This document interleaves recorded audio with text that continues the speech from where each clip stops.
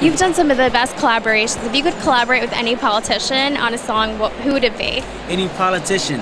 Uh, it'd probably be Obama. You know, he has a, he has a pretty good singer voice. I think that might be cool. What would you sing about? I don't know.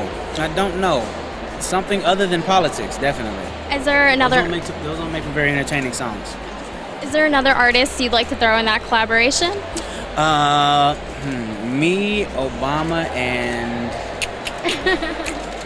me, Obama, and Kanye. Yeah, I feel like that'd be a very, very uh, politically incorrect song. Thank you.